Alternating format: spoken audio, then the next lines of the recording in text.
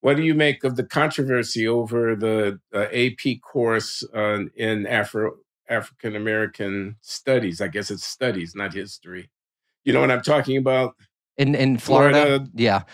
Yeah. Two things. Why the hell does the college board have any control over anything to do with American education in this country? I hope people use this as a, as a moment to investigate that. And two, um, I, think I think most of uh, I mean most of this that sort of thing just reeks like culture war nonsense to me.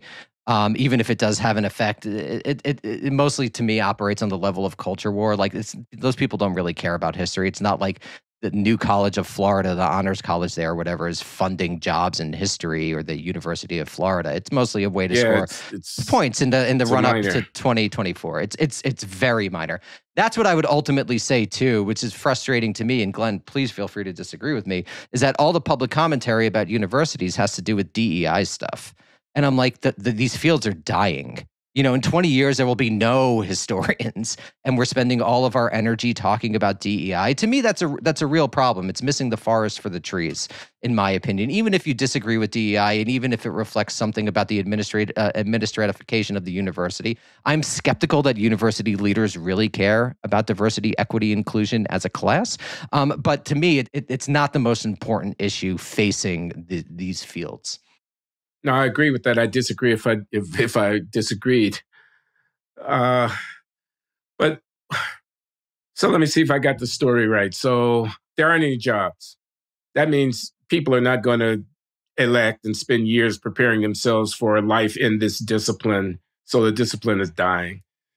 Why are there not any jobs? Because the university is going to hell in a handbasket, I somehow think, and we've commodified and and mark and you know made into a market phenomenon this whole process of uh, this uh, late adolescent educational whatever whatever we mean by educational experience and uh, uh, the result is that we have gig uh, professors Can I just Uh, address the done? supply and demand issue quickly? yeah Uh, so people often say, well, there's not jobs for them. The thing is, there's tons of jobs. They're just crappy jobs because the university, university system is a cartel. That's a big problem. It's effectively an unregulated cartel. Um, so I think to make ac- any actual changes, you'll have to have some legislation, whether at the state or federal level.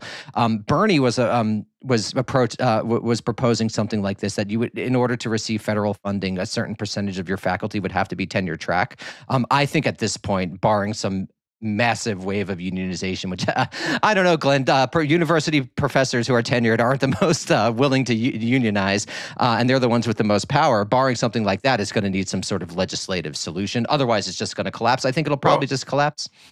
explain the cartel point i don't understand how is it how are the universities cartels because you can't go elsewhere with a history degree.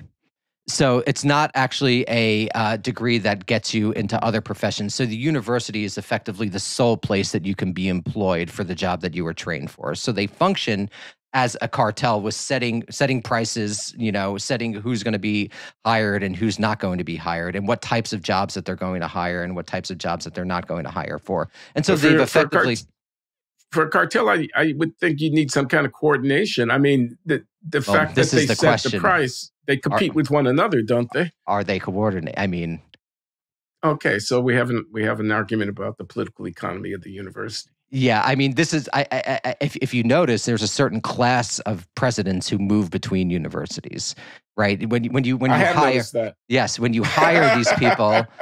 they- I have noticed Uh, so I would say um, it does function like a cartel. People might disagree, but but uh, I don't know. If, if you disagree, I'd like to hear. So you why. want the high the percentage with tenure higher? I mean, I could see an argument for going in the other direction and reducing the number of people who have tenure to zero in the fullness of time, because it is, isn't it, a kind of contractual feature uh, that you know uh, it, it, it's supposed to be guaranteeing independence, but I think that's a pretty thin argument.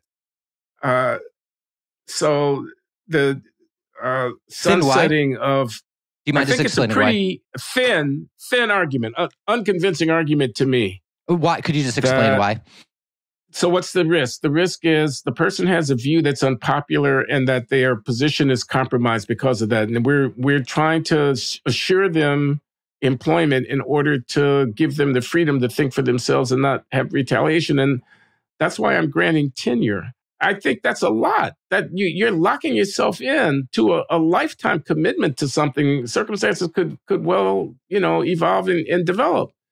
Uh, and I and I don't know why I have to use that as the as the form of compensation. I mean, I could pay them more or uh, give get other uh, kind of benefits to the retirement package or something, rather than give them a lifetime guarantee of a job. So uh, I don't know why tenure I, I, understand that it's security, but it's very rare. You don't see it in other uh, trades or professions. I mean, it, it, it's. Well, you used to. Uh, I mean, under the neoliberal capitalist economy, it got rid of that sort of Fordist vision where people work at, you know, two or three but companies. why not get rid of it? Why lock yourself in?